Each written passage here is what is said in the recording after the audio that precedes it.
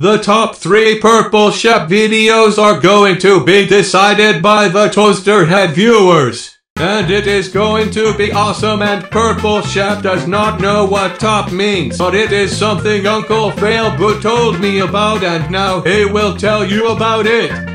Hey there everyone! So to kick off 2017, we're going to round off the year with the top 3 Purple Shep videos in a popularity contest, as voted on by you guys.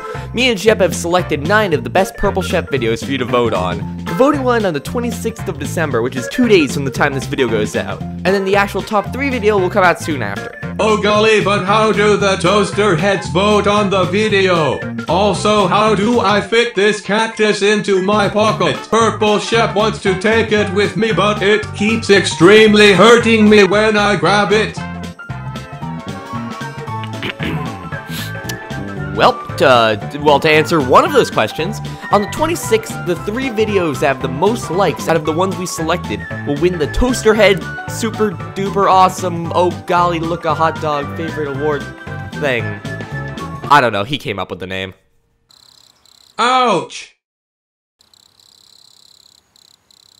Ouch! Ouch! Stop licking the cactus if it hurts! But it tastes like sandpaper with cheese on it. This is what I live with. Anyways, pick your favorite few videos out of the ones listed in the description and give it a like to help it be in the top 3. We'll be updating the description of the video on the last day about which video is the most liked, so keep an eye out. Plus, one of these videos has a slight lead on the others. Oh golly, that one is one of Purple Shep's favorites. Uh, I mean, these are all, like, these all are.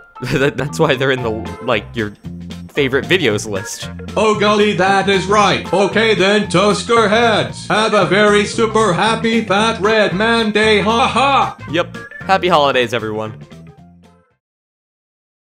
Ouch! Purple Shep tried to grab the cactus again.